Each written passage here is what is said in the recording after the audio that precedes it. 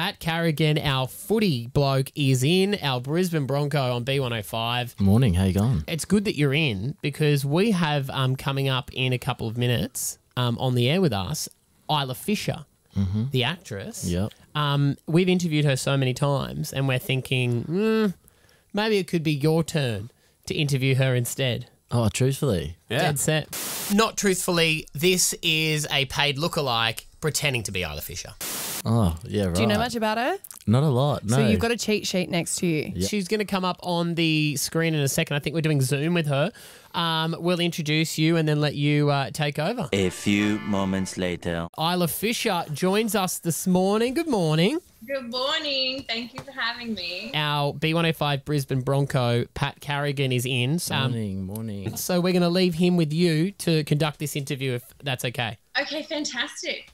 All right, thanks, You've got Elsa. this. You've got this. Thank you. Okay, bye guys. For some reason, every time I come to the studio, Isla, love they always literally walk out on me. I'm so sorry to hear that. But that's all right. You're um, starring Mary in the new show Wolf Like Me. Um, it's a pretty, um, well, I've seen a lot of it around Brisbane. Um, can you tell us a little bit about it for for um, people driving to work that might not know? Yeah, sure, sure.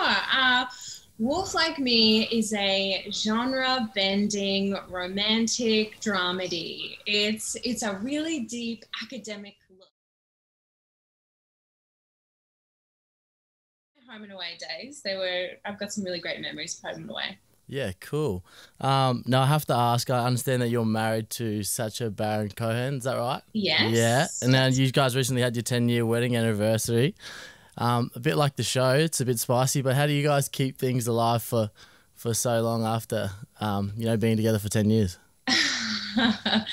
um, you know, just how any regular couple would.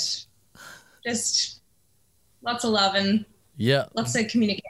Next question. What about a second series of the show? I can't say yet. Um, I'm I, I'm very hopeful. Let me just say I'm very hopeful. Let's all just cross our fingers. Awesome. Well, I'm certainly looking forward to um, seeing it, and I, I know all of Brisbane, Brisbane are, and especially Australia. So, um, thanks for joining Thank us this morning. No, that's all right. Thank you. I don't know why I keep coming in. Hey, hopefully you guys got to know a bit about Isla and not my terrible skills. It's always hard to know how to wrap up an interview. That's Oh the my hardest part, isn't it? I'm looking at these questions as well, mate. Um, Was she funny about the Sa- Sacha Baron Baron Cohen? Cohen. You didn't ask about a partner, did you? she was just like, next question. Oh, yeah. How annoyed was she out of 10? I feel like it's like you know when your parent opens your report card for the first time and they see like D's in behaviour and it's like not overly angry but disappointed initially that's and then worse. yeah Well, we've got good news for you. That wasn't Isla Fisher. No, the whole time I was thinking that this please please please don't be Isla Fisher. Stav Abby and Matt on B105. Hi, Pat. Thank you so much for the interview. I don't know if you figured it out by now, but I am in fact not Isla Fisher. My name is Emily Christopher, and I am but a simple actress. I'm so sorry. I didn't mean to make you feel uncomfortable. I hope I didn't, but I that was my job, so also I hope that I did. Thank you for being so lovely.